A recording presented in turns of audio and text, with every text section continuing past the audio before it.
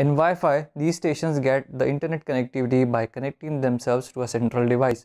This central device keeps every station connected and is commonly known as the access point.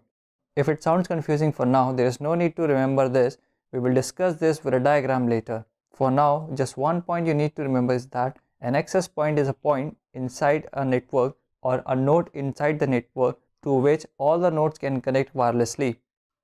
In the diagram, we have two computers Wi-Fi PC1 and Wi-Fi PC2. Both of these are not using any wires and hence they are in the wireless network.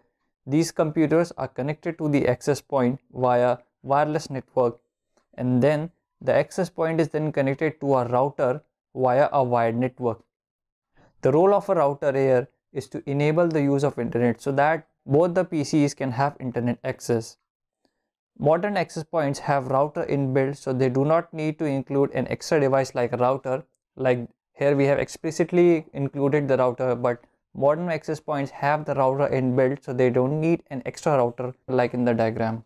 Thus in a nutshell, access points are the devices that helps the nodes to connect together and form a wireless network and at the same time they also provide internet connectivity to those wireless nodes which are known as stations.